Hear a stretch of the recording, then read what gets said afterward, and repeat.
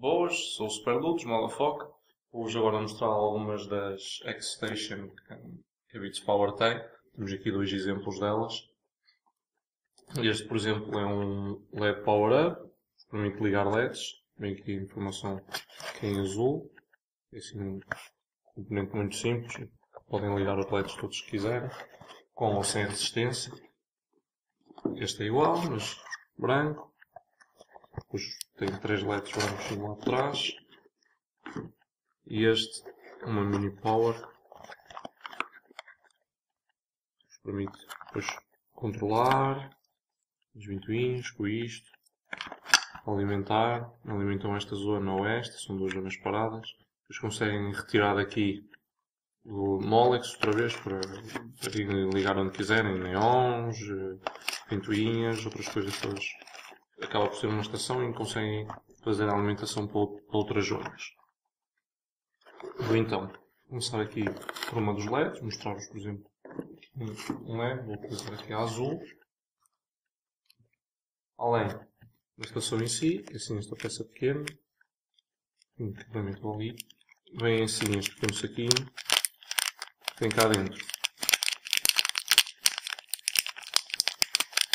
umas pequenas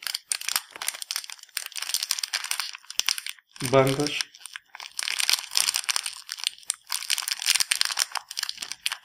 Que nos permite segurar, ver aqui assim em velcro, que nos permitem segurar o, o hub quando quiserem à vontade. E é o suficiente dado o peso que ele tem para, para colocarem onde quiserem na vossa caixa. Podem colocar atrás da placa, no tabuleiro da borda, colocar escondido nas baías, como quiserem. Tenho aqui então uma, uma fonte ligada, sem estar ligado a um computador. Então agora fechar a alimentação.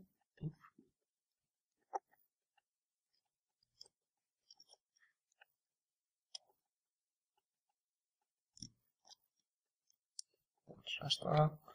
Podem ver que ela fica ali com os em azul.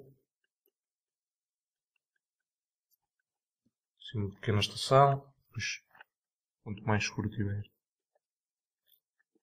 que, que ilumina bem. Depois tenho então aqui duas zonas.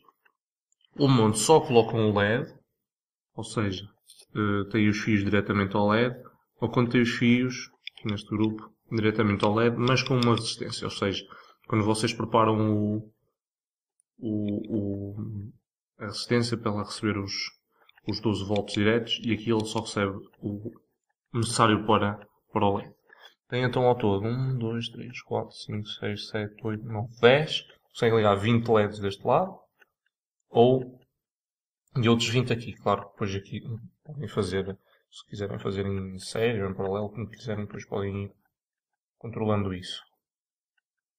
Vou então ligar aqui, apesar deste cabo ser 3 pinos, vou ligar aqui um LED, ver se é um LED resistor, é isto. Hum.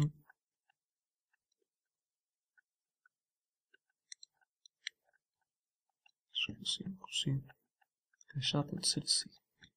Tudo já está. Depois tenho que ter atenção no, ao sentido em que o ligo. Podem ver aqui neste caso não é ultravioleta. Mas já fica ligado. E podem ligar os LEDs todos que precisarem, a irem aos blocos, por exemplo, aos reservatórios, tudo isso.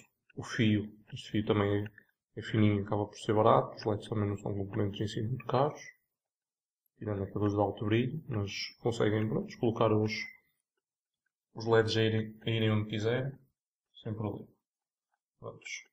Existem LEDs, claro, não precisam de, são obrigados a utilizar os LEDs da Beats Power, podem utilizar outros LEDs se quiserem. E vou agora só encaixar a versão branca. Ver como é que ela é. O sistema é o mesmo.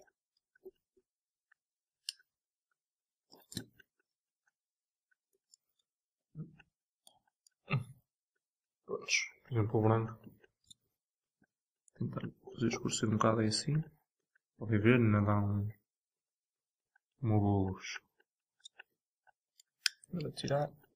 E vou-vos mostrar então agora uma das estações daquelas pequenas.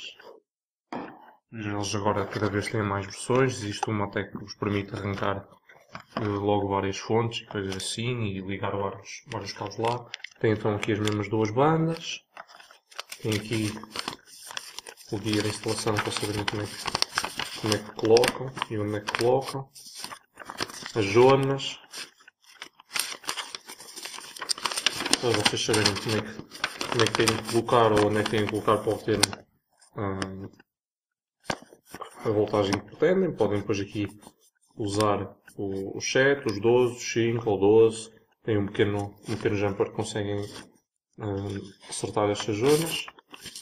Depois tem aqui mais informações sobre os jumpers, sobre as ventoinhas. Conseguem controlar tudo isso.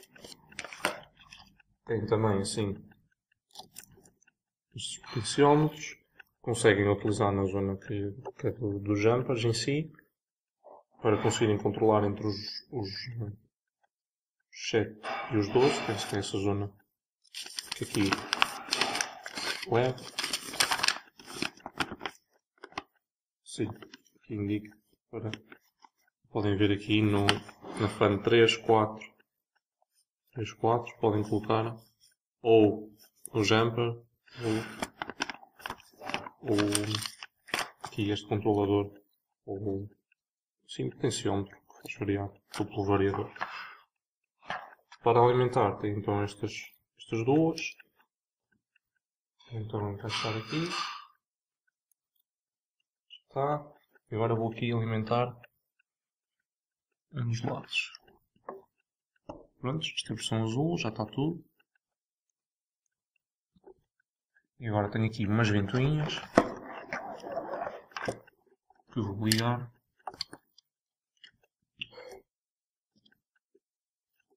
Por exemplo, esta zona central agora está ali definida no jumper para 12 volts e quando aqui encaixar a fica alimentada a 12 volts. Aqui vou só verificar se este lado também fica com alimentação, é preciso as duas, não, não é preciso os dois. Depois para os Molex convém que tenham os dois. Agora, tem aqui estas duas zonas de 7, eu vou tirar a alimentação. E vou tentar ter aqui, então, uma no 5, nesta zona. Trocar esta para os 7. E fica aquela nos 12. E agora vou experimentar. A mesma ventoinha. Hum. Sim. Já está. Agora vou experimentar esta mesma ventoinha. Aqui nestas zonas. Vamos então experimentar nos 5. Então, está a rodar muito mais devagar.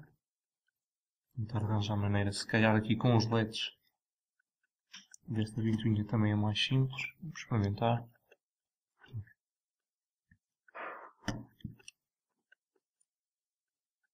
Está assim. Agora vou experimentar trocar aqui para a zona definida como 7.